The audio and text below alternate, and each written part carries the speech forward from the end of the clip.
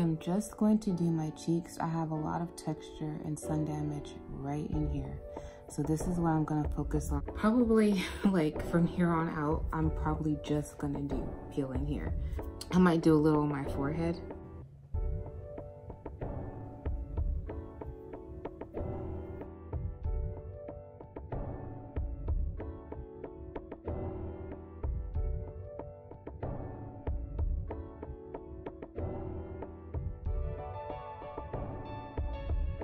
I don't feel anything.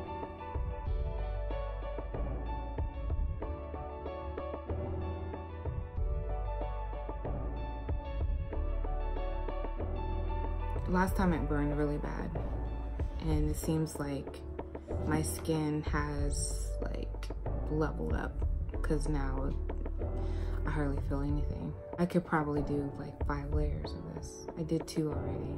I'm gonna do the third layer now.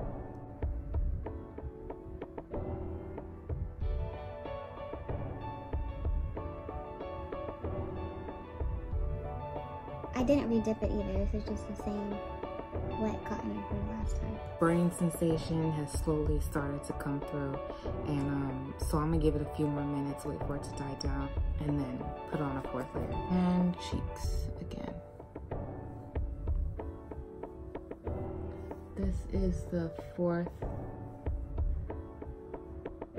application on my cheeks.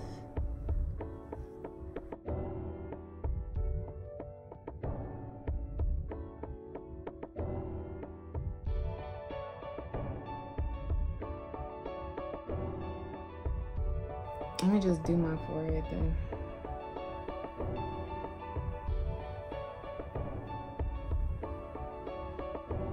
I'm gonna avoid this pimple though. I'm gonna go right around that. It opened up and it's healing, so I'm just gonna leave that alone. I don't think I prepped my face good enough. There's a little bit of dirt there, you see that? I don't think I prepped. This is the second application for my forehead.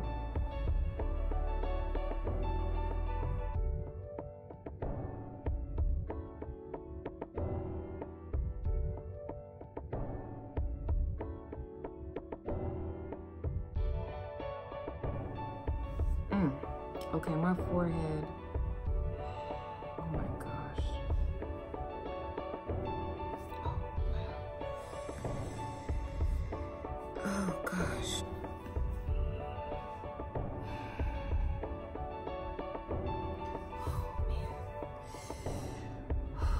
I put on five layers on my cheeks, right? And my cheeks are not even, my cheeks are not where my forehead is.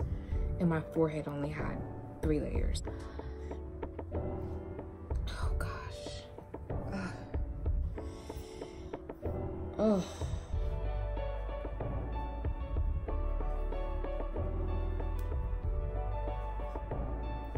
The burning is like, burning is,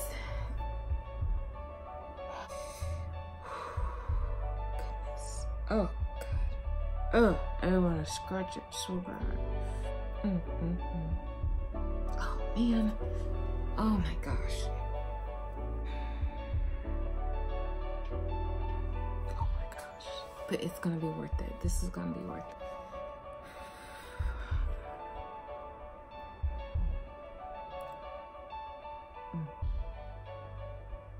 So it's been a couple hours and my forehead, I don't know if you noticed it, but my forehead is tight.